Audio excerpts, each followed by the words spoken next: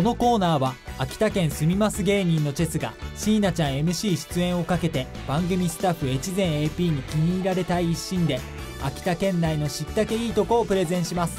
自慢のスポットや美味しいものを紹介し競いながら街の魅力もお伝えするコーナーです。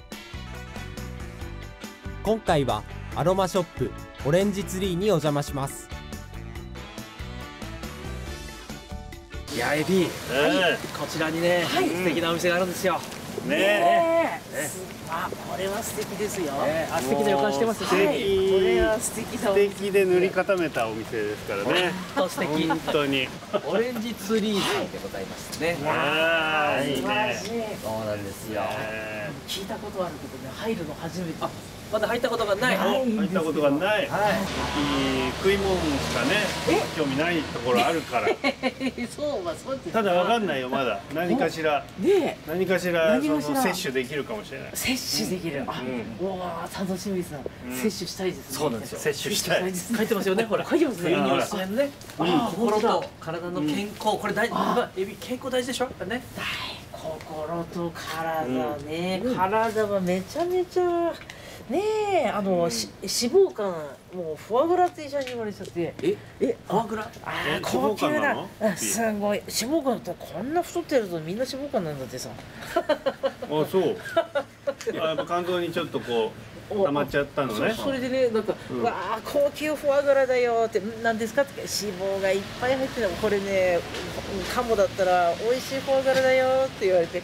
うーまあカモだったらね。カモですげえ暴言吐かれてるじゃない。フォアグラだよってどうしたらいいんですか？お薬ですかって言ったらいやお薬はないって言ってない。どうしたらいいんですかね？って言って痩せたら戻るよって。えでした。え。いやいや。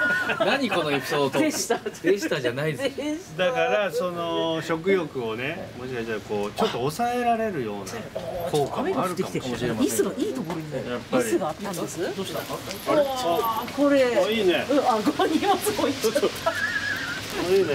イスで。ああこれ。いいね。電池がここにある。いいね。え絶賛営業中ですななんでなんで二人とも上下黒なんですか？テレビだからね。もうちょっと考えろよ。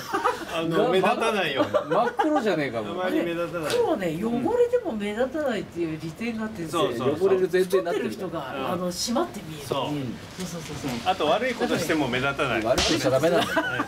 そういういろんな利点がねそうっすねあるからね。ここバス停じゃないんでちょっとすみません。